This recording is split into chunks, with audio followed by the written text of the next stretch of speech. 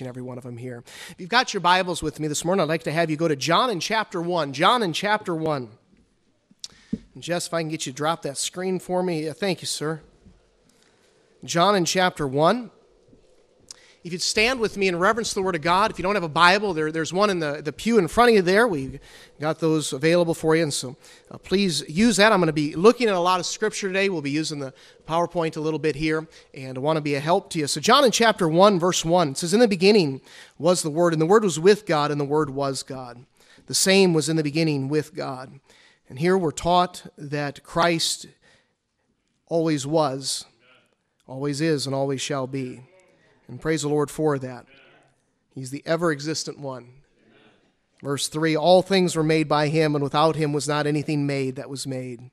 In him was life, and the life was the light of men. And the light shineth in darkness, and the darkness comprehended it not. There was a man sent from God, whose name was John. The same came for a witness, to bear witness of the light, that all men through him might believe. He was not that light, but was sent to bear witness of that light. That was the true light which lighteth every man that cometh into the world. He was in the world, and the world was made by him, and the world knew him not. He came unto his own, and his own received him not. But as many as received him, to them gave he power to become the sons of God, even to them that believe on his name, which were born not of blood, nor the will of the flesh, nor the will of man, but of God. And the Word was made flesh and dwelt among us. And we beheld his glory, the glory as of the only begotten of the Father, full of grace and truth. Let's pray. Lord, I come to you today and I thank you for your scripture, Lord. I thank you for the truth that I hold in my hands. Lord, this is not truth on based on someone's perspective or opinion, but Father, this is absolute truth based on the God of eternity. And I'm so thankful that Father, I have something today that I can bank my life on. I can bank my forever on. And Lord, my prayer would be first and foremost for anyone here today without the saving knowledge of Jesus Christ as a part of their life, that today they'd come to that point where they'd realize that they're without a Savior, they're in need, uh, Lord of Jesus, and that they would accept Him and that they would gain salvation because of it. But Father, I also pray for the Christians in this room. We have a calling, we have a purpose in our life. And I pray that, Father, as children of God, that we would seek to accomplish the will of God in our lives. In Christ Jesus' name, amen. You may be seated.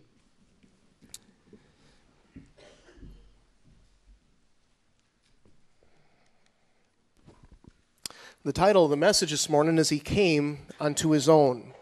He came unto His own. You've heard the, the Christmas saying or slogan concerning the Magi that wise men still seek him, and that is true. But truth be told, Jesus came to seek us. In 1 John in chapter 4, it says, Beloved, let us love one another. For love is of God, and everyone that loveth is born of God and knoweth God. He that loveth not God knoweth not God, for God is love. Verse 9 of 1 John 4 says, And this was manifested the love of God toward us, because that God sent his only begotten Son into the world that we might live through him. Herein is love, not that we love God, but that he loved us and sent his Son to be the propitiation for our sins. See, the Bible says in John in chapter 1 that he came unto his own. He came unto his own. You see, he came seeking us. We sometimes, in our vanity or in our arrogance, we, we feel like that, that we are the ones who are doing the work. But, friend, I'll tell you this it's, it's all of Christ or it's all for naught. Please understand the importance of that. In Romans, in chapter number 5, the Bible says this But God commendeth his love toward us, in that while we were yet sinners, Christ died for us. You understand that while we were in our sinful, lost, condemned state, and please can I get your attention? I'd sure appreciate that. Uh, but, but God sent his only begotten Son, and he did that while we were undeserving. Don't think for a moment that you're seeking God. God sought you first. The Bible says in John in chapter 3 and verse 16, For God so what? Loved the world, that he gave us his only begotten Son, that whosoever believeth in him should not perish, but have everlasting life. You see, he came unto his own. But if you look at that verse in John, in John in chapter 1, the Bible says in verse 11, it says, He came unto his own, and his own.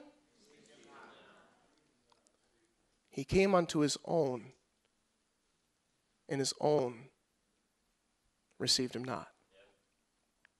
That statement um, has caused me a lot of thought this week. I was teaching Wednesday night on the birth of Christ.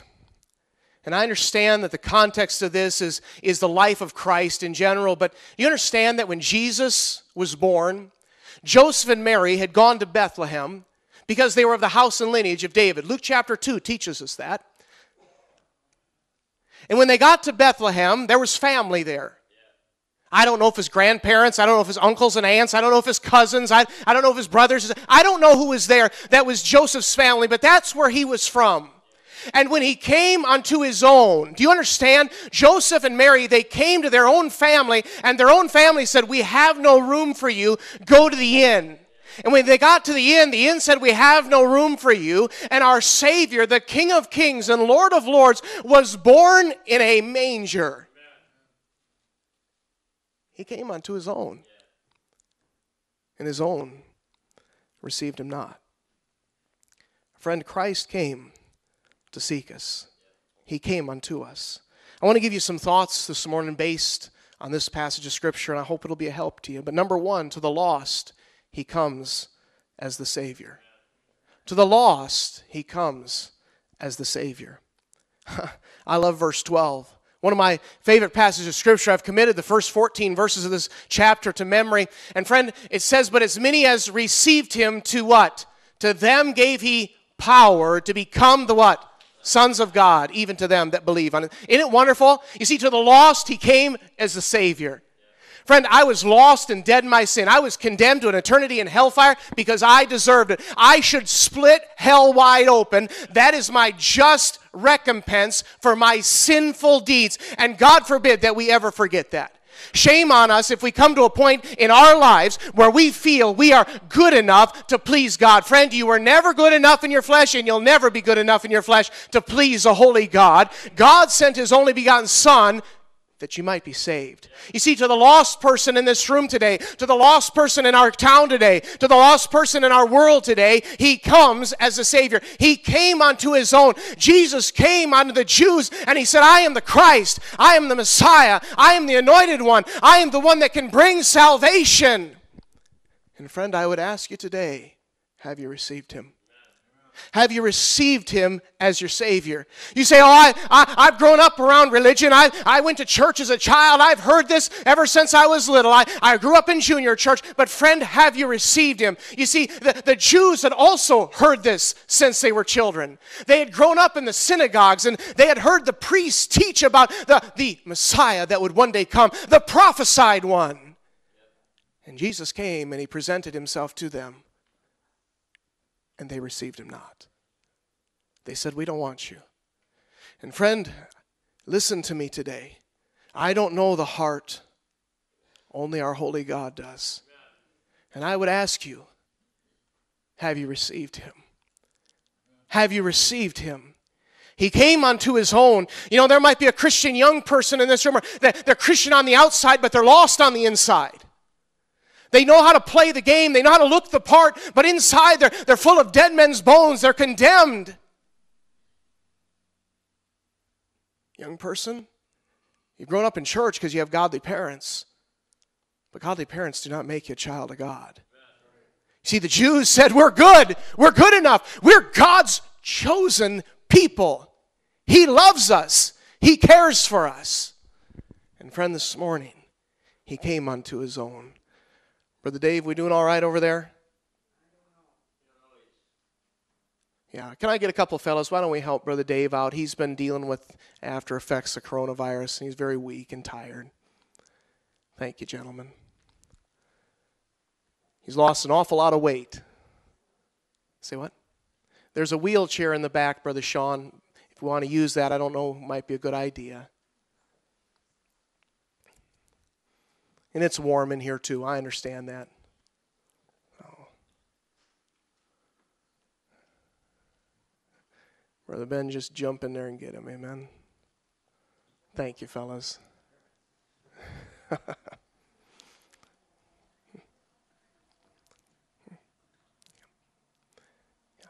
you want to take this? Take that, yeah, just back so you have it.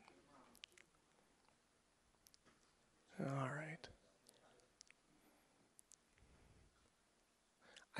Brother, I think he's just very weak. He's been dealing with this. You can talk to them when they get out there. All right. Thank you, guys.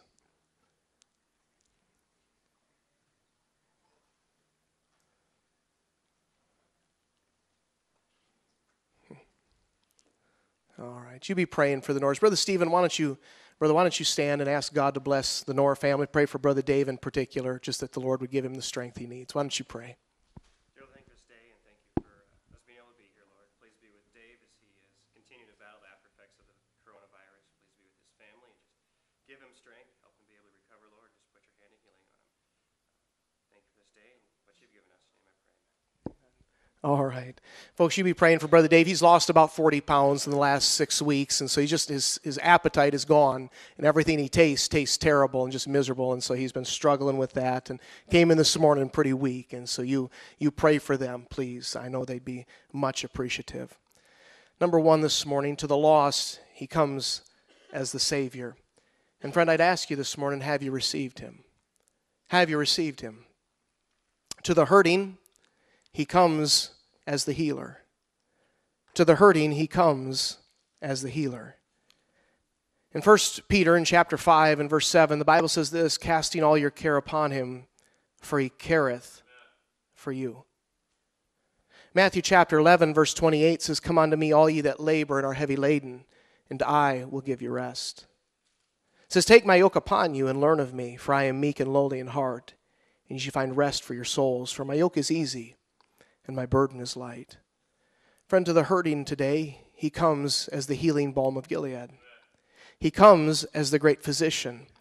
You see, there are those of you in this room today, you're saved and heaven's your home. Christ is your Savior. What a blessing that is.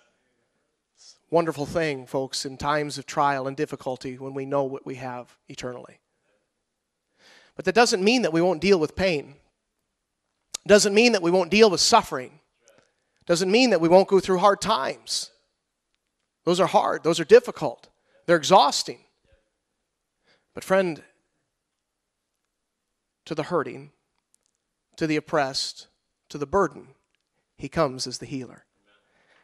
But this is something that I think is so important. You see, it says he came unto his own, and his own what? You see, what I'm telling you today, you know. Christian, you're sitting there today and you're hurting. You're carrying a burden that is heavy. It's weighing you down.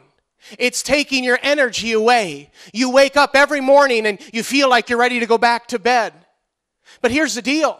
You see, he came onto his own. He came as, as a healer. He came as, as a physician. He came as a helper. He came as a comforter. He came to give us rest. He came to give us peace. Have you received him?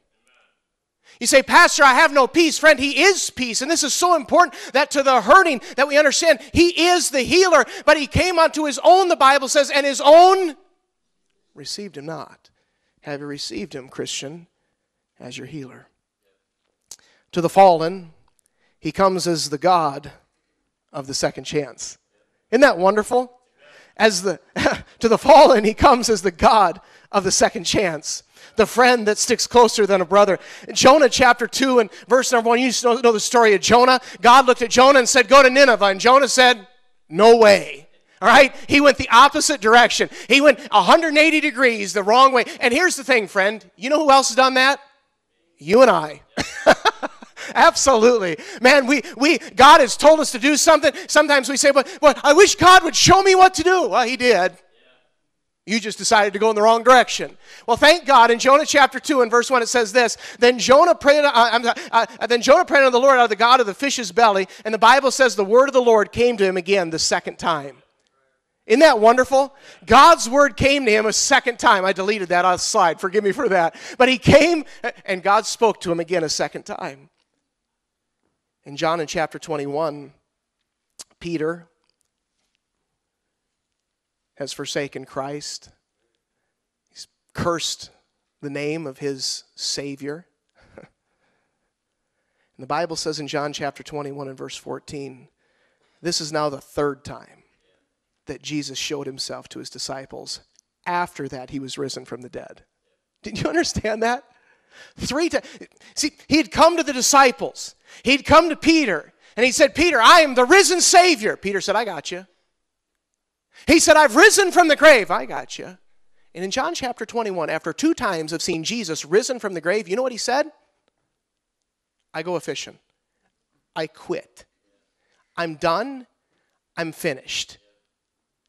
And Jesus comes to him again a third time. Aren't you thankful that to the fallen, God comes to us, Christ comes to us as the God of the second chance and the third chance and the fourth? For a just man falleth seven times, yet riseth up again. Isn't that a wonderful thought that he gives us those opportunities to serve him? Luke chapter 22 and verse 32, Jesus is looking at his disciples and he looks at Peter who said he never forsake him. And Jesus said, I have prayed for thee that thy faith fail not. And when thou art converted, strengthen thy brethren. Jesus looked right at Peter and said, Peter, I know you're going to fall, but I've prayed for thee. Friend, what a wonderful thought that I have a God that is a God of the, the second chance. And, and today, some of you in this room, you may have fallen. You may have disappointed your God. You may have disappointed your family. You may have hurt others around you, but you have a God who will give you a second chance and a third chance and a fourth chance. If you're here today, if you're in the auditorium this morning, I promise you that you have a God that will help you to rise up again. We serve a God of a second chance. You see, to the fallen, Jesus comes as a God of the second chance. But I'd ask you this Have you received him? You see, he came unto his own, and his own received him not. You see, we sit here today and say, I know God can work in my life, but I won't receive it. I won't receive that forgiveness. I won't receive that restoration. I won't receive what he has. You, you sit there and, and, and, and you listen as the scriptures say that God can use you and God loves you and God cares about you and God wants to do something with your life. And then you tell God how far you've fallen. You tell God how wicked. Don't you think God knows? Man, God knows. He, he knows the thoughts and intents of your heart. If that doesn't scare you, nothing else will. I mean, God knows what's going on in your dirty little mind right now. You say, Oh, I'm a wonderful Christian, hogwash. All right? Every single one of us in here have some dark moments and we have some dark times in our life and we fall. Oh, maybe not outwardly where everybody can see it, but we fall and God knows we've fallen and God knows we're struggling and He looks down at us and Jesus came so that I could have an opportunity to get back. Up. I'm so thankful that when I got saved, and isn't a wonderful thought? God will never cast me away. I'm always His child. I'm always His son. He will never leave me. He will never forsake me. And He comes to give me that opportunity to get back up. And he doesn't come to me and say, You wicked, godless, wicked sinner, I hate you, I despise you, I saved you, and you've disappointed me. No, He comes and says, Let me help you up. If we confess our sins, He is faithful and just to forgive us our sins and to what? Cleanse us from all unrighteousness. He says, I love you. I want to help you up. Let's go again, son. Let's go again, daughter. That's what he says. You see, to the fallen, he comes as the God of the second chance. But, friend, today, I'd ask, have you received him? You say, Oh, Pastor, I'm saved. I know, but you're fallen. You've fallen. You're struggling. You're telling God how you're useless. You're telling God how you're vile. But you've forgotten one thing it was never you that pleased God, it was Christ in you. And friend, today, to the fallen, he comes as the God of the second chance. Have you received him? I'd say this fourthly this morning to the addicted, he comes as the deliverer. You see, he came to set us free. In John in chapter 8 and verse 32, it says, And ye shall know the truth, and the truth shall make you free. Verse 36 says, If the Son therefore shall make you free, ye shall be free indeed. Isn't it a wonderful thing? Man, I'm so thankful. There's no sin that can bind me as a child of God. In Luke, in chapter number four, the Spirit of God, Jesus speaking, the Spirit of the Lord God is upon me, fulfilling prophecy is what He's doing, because He hath anointed me to preach the gospel to the poor. He has sent me to heal the brokenhearted, to preach deliverance to the captives, and recovering of sight to the blind, to set at liberty them that are bruised. To the addicted, He comes as the deliverer. Friend, He came to set you free. You say, Pastor, I'm saved. I know that, Christian, but he came to set you free from your sin. He came to set you free from those, those, those obvious wicked sins of, of, of drugs and alcohol and pornography and the perversion of the world, but he also came to, to deliver us from the sins that are private of, of jealousy and bitterness and, and hatred and envy. He came to deliver us from those things so that we could live a, a triumphant life. And isn't it a wonderful thing that I don't have to live underneath the bondage of sin? Sin is an evil taskmaster, hates you. Sin despises you. Satan wants to destroy, and he delights in it, by the way. You know, Christian, when you got saved, you walked out of the prison that sin had made for you. Christ came in, he wrote it is finished above the cell door, and he said, Get out of here. You never have to come back again. The door is unlocked, the chains have been torn asunder, you are free, you have been set at liberty. Walk and sin no more. Wonderful thought came unto his own. But here's what Christians do they say, Lord, I have this sin, this weight that doth so easily beset me. And we walk back into the cell door and we close it behind us. And we go over and we put the chains on our arms and our legs, and oh, we're not shackled anymore. The cell door is no longer locked. But we live a life of addiction. We live a life of frustration.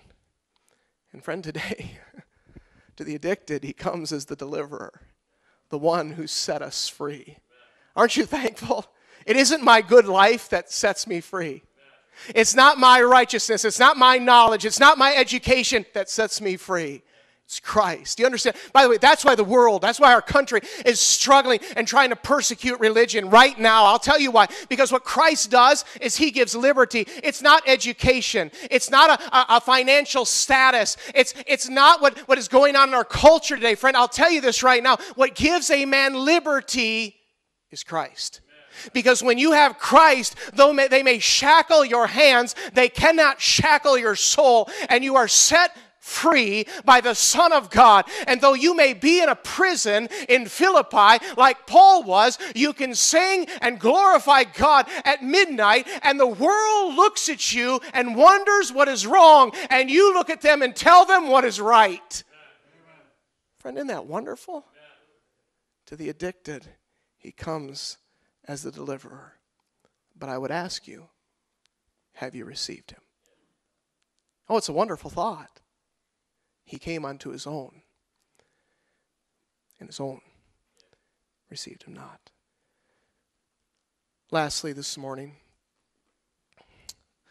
to every child of God, he comes to us as our Lord. In John in chapter 1, in verse 43, the story of Christ continues. John proclaims that this is the Lamb of God that taketh away the sin of the world. Later on in that same chapter, he begins to call his disciples, and I'm just going to turn your attention to one verse, but in John in chapter 1 and verse 43, it says, The day following, Jesus would go forth into Galilee and findeth Philip and saith unto him, two words, Follow me. Same with me. Two words. Here we go. Follow me. That's what Christ, your Savior, says to you, Christian. He says, Follow me. He comes to me as a child of God and he says, I'm to be your Lord. Now, I want you to understand something. Jesus is Lord no matter what, I, whether or not I follow him or not. He is Lord to the glory of God the Father. And there's going to come a day when every knee is going to bow and every tongue is going to confess that Jesus Christ is Lord. That is unavoidable. But I will tell you something in your life right now. Christian, you have the opportunity to say, hey, hey, Jesus is my Savior, but brother, He is my Lord. Jesus said, follow me to a lot of men and to a lot of women. But there were select few who left all and followed him. And every child of God today, he comes to you as Lord. Solomon chapter 37, the Bible says this the steps of a good man are ordered by the Lord, and he delighteth in his way. It's a wonderful verse. It's a wonderful verse that says that my God will literally guide every single step that I take. Does it not? But there's something very important that I have to com- comprehend. And that is found in Proverbs in chapter 3 and verse number 5 and 6. Trust the Lord with all thine heart and lean not unto thine own understanding. In all thy ways acknowledge him, and he shall what? You see, He comes today, Christian. You say, I'm saved. I'm going to heaven. I know Christ is Savior. I have eternity. I'm fine. I'm good. But today He comes and He says, Follow me, John. Follow me, Tim. Follow me, Jim. Follow me, Gary. Follow me, Tristan. And here's the thing you have the opportunity today to look up to heaven and say, Here it is, God. Jesus is Lord in my life. But I want you to understand something. He came unto his own, the Bible says. Are you God's child today? Oh, yes, I am. But his own received him not. There were many that trusted him, but there were few that actually followed him. And my friend, today, to every child of God in this room, Christ comes to you as Lord. And he says, Follow me, son. Follow me, daughter. He says, Let me guide your steps. Let the God of gods, the King of kings, the Lord of lords supreme, let me be involved in every single step you take. The steps of a good man are ordered by the Lord. But, friend, if you do not acknowledge your God in all your ways and say, He is Lord, Hey, in your marriage, men, He is Lord. In your marriage, ladies, He is Lord. Hey, young people, in your relationship with the opposite gender, He is Lord. Hey, kids, with your parents, He is Lord. Parents, with your kids, He is Lord.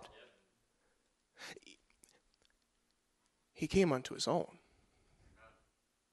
and His own received Him not. And, Christian, this morning, I would just ask you have you received him? Have you received him? The Bible says in John in chapter 1 that he was in the world, and the world was made by him, and the world knew him not. He came unto his own, and his own received him not. But as many as received him, to them gave he power to become the sons of God even to them that believe on his name. Friend, I'd ask you, have you received him? To the lost, well, he comes as our Savior. To the burdened, to the hurting, he comes as our healer. Friend, do you understand? To the addicted, and what a wonderful thing, but he comes as our deliverer. To the child of God, he comes as our Lord. Let's go ahead and stand.